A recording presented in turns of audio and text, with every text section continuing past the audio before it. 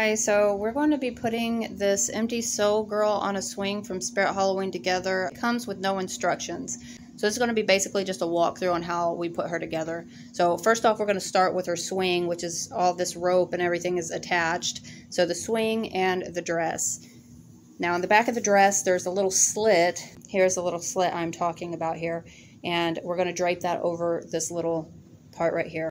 Right, so this is how it is. We just open it up and we drape it so that it goes through the middle part. We want both sides of the dress to be in the front. So it's just holding it on like that. So this is the next item. Um, let's go ahead and put it on. These little parts right here are going to be in the front. There we go. It's locked into place. See, now that you can see, it's not going to come off or anything, and it, it's going to look like the legs are draped over. The next part we're going to be using is the smallest part. It's going to look like this right here. Um, this is for her legs and everything. So this is going to go on the bottom right there. Now we're going to be using this part right here. It looks really weird. Um, it's got one of these on both sides. Anyway, so we're just going to drape this part over the pole and lock it into place down from that last one we just put on. So I have it in like that. It took a little bit. I kind of had to push it in and then kind of get it to stick. So I needed both hands for that. But now we're going to put on the legs. These are the legs. I know they don't look like legs, but they are. And they're just going to go into these little holes here on the side. Probably would have been easier if we would have done this part first. Let's just go ahead and line up the holes. All right, so this is what we should have right now. I actually had to kind of pull this piece up and then put this one down and then put it back in, but that's not a big deal. So, so far that's what we have. Now I'm going to be draping the dress around the feet. So this is what it looks like. I just basically pulled up her dress and made sure that it went behind this caged part right here. Um, so there we go. So the next piece is going to be this one right here with the things there in the middle. We're just going to drape it over the pole and lock that right there. So it should be just like that. And then we're going to cover that part up.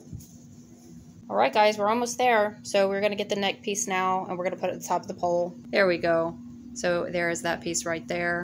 All right, so this is what you should just have left is the arms, and it is not as hard as you would think it is. I, I struggled so bad with this part, but basically what we're going to be doing is we are only going to be putting this part right here through the sleeve from the bottom.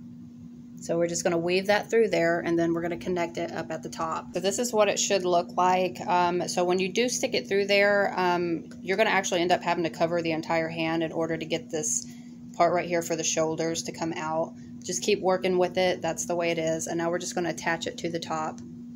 So there you go. It just attaches right there. So, so far this is one arm done. So remember, we are going to take this piece and stick it through the arm part like this. So both of this piece is going to go in through the hole there.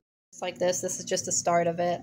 Just in case you didn't understand what I'm trying to say, it just goes over that and you're going to work your way all the way until it covers this hand and this part is able to come up through the top. Here's what I'm talking about. So now we have this wire that's came through the back but the rest of her hand is still stuck in the sleeve, so we're going to have to pull her hand back down. So there we go. Her hand's pulled back down, and we're going to attach this part up here on her shoulder. There we go. Now we're just going to fix her dress, which should come up nice and easy. She is, guys. All done. I think she's nice and scary. Anyway, I hope this helped y'all out. Um, I know I struggled with it, especially them arms. They definitely should have some kind of instructions in this box, but unfortunately um, they don't. So anyway, I hope this video helped you guys out, and I will see you guys next time. Bye, y'all.